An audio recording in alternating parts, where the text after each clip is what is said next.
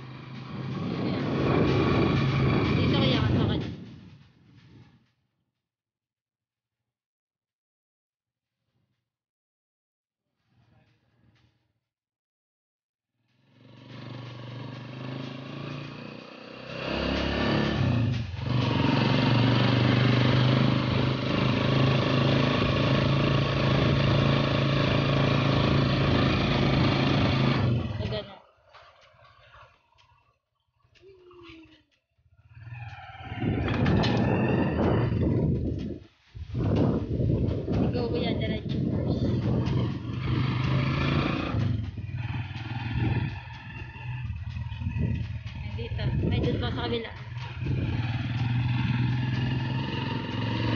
Ayan. Stop ka nga dito. Ayun.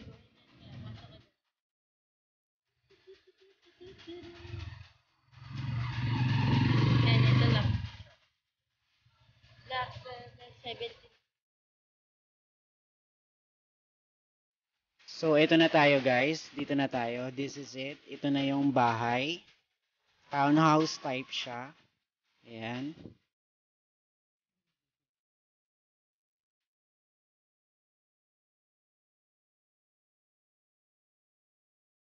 Dito na tayo guys. Ito yung itsura ng labas ng bahay. Townhouse type siya. Simpleng bahay lang. Para at least hindi na tayo mangungupahan. Yan, halos kompleto na. Halos puno na rin siya.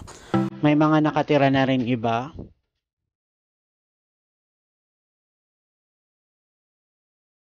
Ang size pala nito guys or land area niya is 46 square meter by 46 square meter. Simple lang bahay. Simpleng bahay. Pasukin natin yung loob. Ngayon, ang ginagawa nila ay pinapinturahan ko ng ibang kulay. Yung kisame at saka yung dingding. Ayan, tapos na silang magpintura.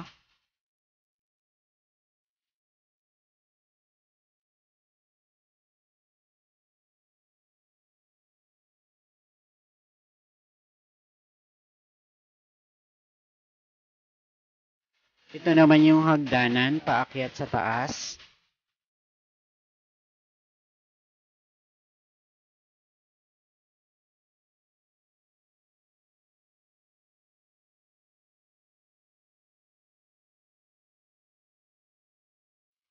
Ito yung view sa second floor sa harap.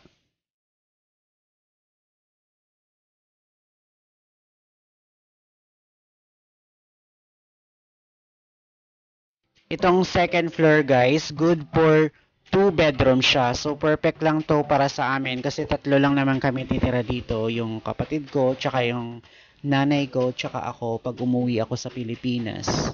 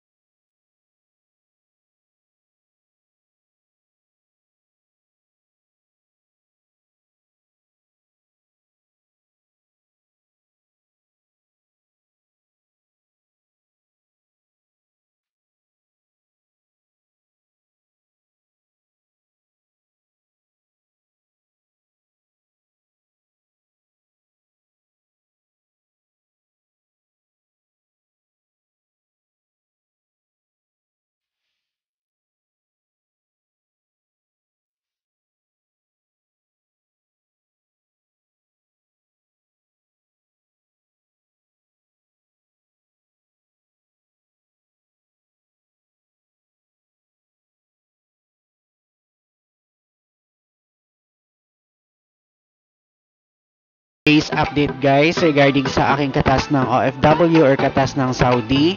So shoutout nga pala sa pamangkin ko na si Mariela para sa video clips na to na siya yung gumawa. Thank you. So yun lang guys. See you on my next update. So kung nagustuhan nyo tong video na to, don't forget to give thumbs up. And see you on my next update. So thank you for watching. Bye!